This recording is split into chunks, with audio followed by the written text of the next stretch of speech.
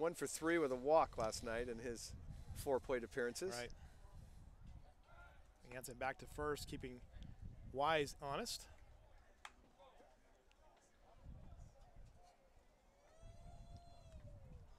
Sooners are, uh, looks like they are an aggressive base running team.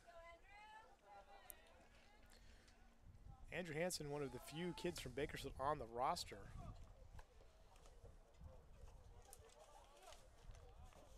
Bakersfield's been good in baseball, but uh, I wouldn't say necessarily outstanding over the last few years from the prep level. Well, the Sooners have 30 stolen bases and 38 attempts. And that's going to be driven to center field, and Seelman's going to get under it, and that's going to be an out. So they've you know they've got 30 stolen bases in uh, 18 games. So and they had uh, a couple last night. So you know they're gonna they'll they'll, they'll run. And uh, Bob Macaluso, the Bakersfield coach, is an aggressive uh, coach that way as well. Right. In the case of Alec Hansen from OU, you know when you're six seven, sometimes you have that long delivery and long stride to the plate, and gives a base runner maybe a little bit of an extra step or two if you're trying to steal a base. Fraley had good lead, the base runner for Bakersfield in the first, but again, he's got a groin injury, so I don't think he's going to be running. Hanson not messing around with him. It was interesting talking to the different coaches, you know, about Hanson and what they were going to do with him. And I don't think starting pitching was necessarily in the plan early on. Well, again, he kind of really pitched so well in the fall that he earned a spot in yeah. the weekend rotation.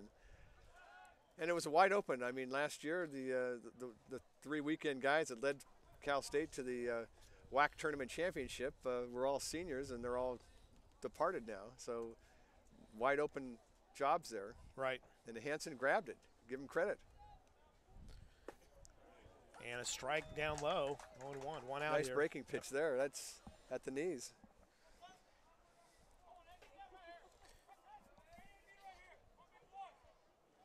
Chris Andritos Drisos is hitting 150. He's played in eight games, five as a starter at first base. You know, he's three hits and 20 at bats with no extra base hits. Pitch foul down the third base side there.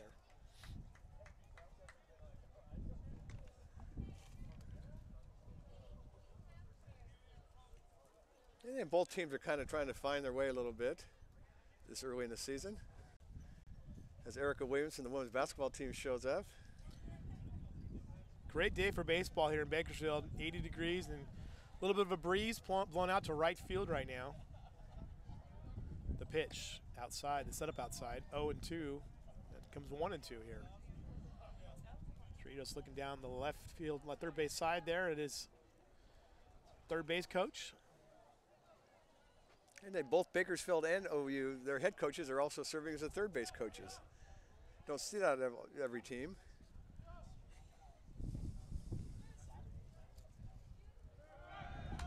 and fouls it back.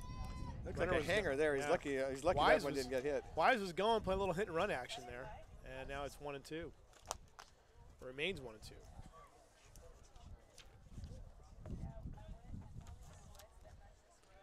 Pete Hughes in his third season as the Oklahoma head coach. Graduated from Davidson in 1990. He is the third base coach in this game. Big 12 so tough in everything. And swing and a miss, strike three. So the first strikeout for Andrew Hanson. And he's got two down here. And that's going to bring up Henry Haley, the left fielder.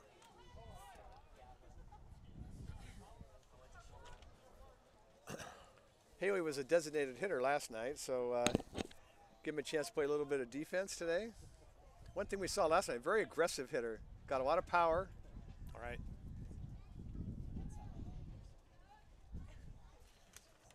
Runner on first. That's why Wise on first. Andrew Hanson checks him. Goes back, back over to Max Carter, the first baseman. Haley, the batter for OU, this had two doubles last night and a walk and stole a couple of bases. So he was uh, he probably was their best offensive player last night. Even though he's still batting only 186 right now, eight hits and 43 at bats. And that sharply hit foul ball into the dirt field behind us. Just a loud line shot. It was interesting comparing CSUB versus Oklahoma today on the basketball court. They ran a stat up there, you know, saying that only there's only 9,000 full-time students here at CSUB. probably three times that many at OU. I bet it's even more than three times. I bet it's uh, it could be up over thirty thousand or even closer to more. You know, it's those are that's a major university back there. Another foul ball. This one going back over third base slide into a car, probably, probably Jeff Evans' car. Actually, I parked further away. My car got hit by a foul ball here last year. Just put a dent in the hood of the uh, Hit the car. car. But luckily, if it would have been a few feet up, it would have Didn't taken improve out the the resale windshield. value, huh? Well, I'm not. It's not for sale. Yeah. Not ready to change out the car yet. So Haley now down 0 2 here, two outs in the bottom or the top of the second.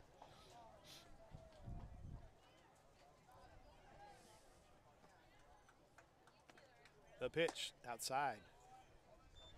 80 miles an hour on that one. Got a little bit away from him, looked like.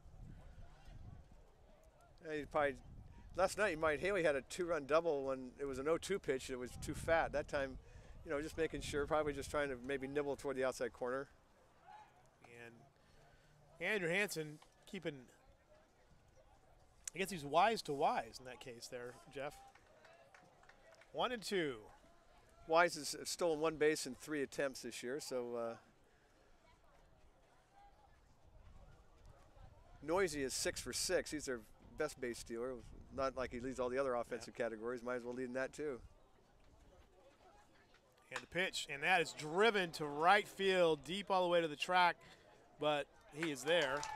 And that was For Oklahoma, no runs on one hit, no Chance errors until the Gusbeth bottom of the second. It with the catch. So that ends the inning and ends hear the threat. So TCB Roadrunners, a relationship that's 45 years Not they were fortunate that ball didn't get up in the air. That was a line drive that uh,